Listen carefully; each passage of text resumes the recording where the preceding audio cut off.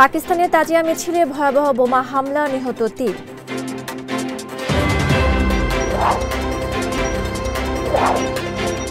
এবং বিশ্বে করোনায় চুয়াল্লিশ লাখ সতেরো হাজারের বেশি মানুষের মৃত্যু।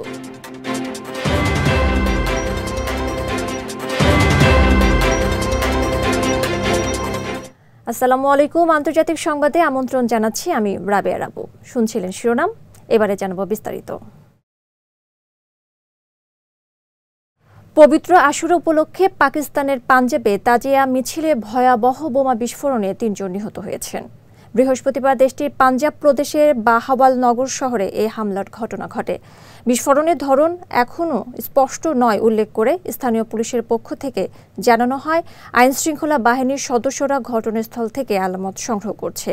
এই ঘটনার পরে আহতদের সড়কে পড়ে থাকার ছবি সামাজিক যোগাযোগ মাধ্যমগুলোতে ছড়িয়ে পড়ে। যদিও পরবর্তীতে দেশটির বড় শহরগুলোতে মোবাইল ফোনের নেটওয়ার্ক সাময়িকভাবে স্থগিত রাখার নির্দেশ দেয় আইনশৃঙ্খলা বাহিনী।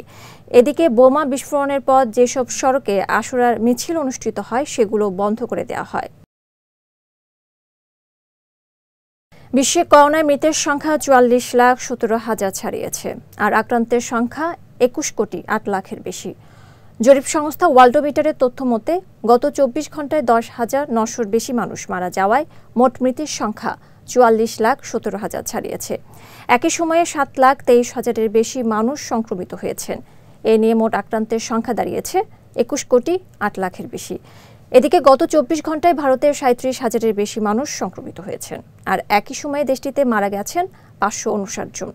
এছাড়া গত চব্বিশ ঘন্টায় আবারও মৃত্যু বেড়েছে যুক্তরাষ্ট্র, ব্রাজিল, রাশিয়া ও ইন্দোনেশিয়া সহ বিশ্বের কয়েকটি দেশে। আর ভাইরাসটিতে সংক্রমিত হয়ে এখন পর্যন্ত সুস্থ হয়েছেন আঠারো কোটি আটাশি লাখের বেশি মানুষ।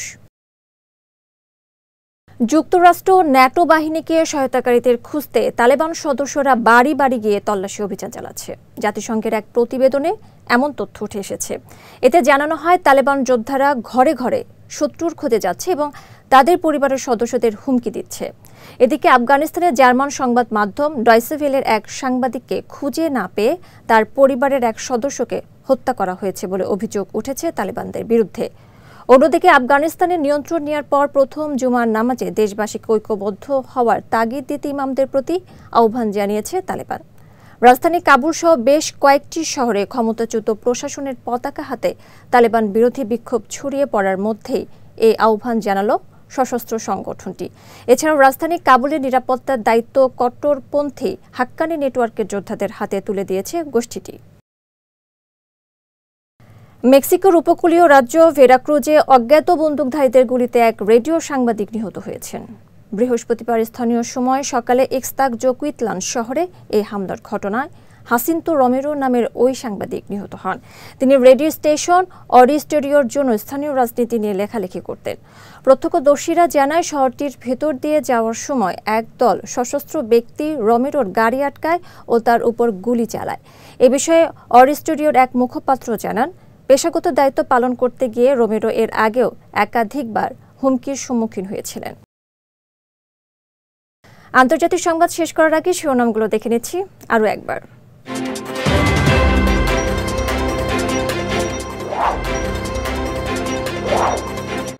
পাকিস্তানের তাজিয়া মিছিলে ভয়াবহ বোমা হামলা, নিহত তিন।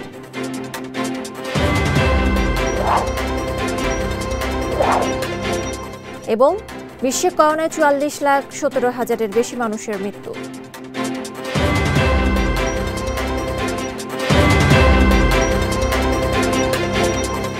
আন্তর্জাতিক সংবাদ শেষে আজকের মতো আমি রাবে রাবু, আপনাদের কাছ থেকে বিদায় নিচ্ছি।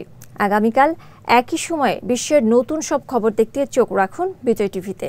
এছাড়াও আজকের আন্তর্জাতিক সংবাদের ভিডিও দেখতে পারেন আমাদের ইউটিউব এবং ফেসবুক পেজে। আমাদের ইউটিউব হলো YouTube dot com slash BJTV official এবং আমাদের ফেসবুক পেজ হলো Facebook dot com slash BJTV limited corona মহামারীকালে সরকারের বিধিনিষেধ মেনে ঘরে থাকুন, নিজে সুস্থ থাকুন, পরিবারকে নিরাপদে রাখুন। আল্লাহ হাফেজ।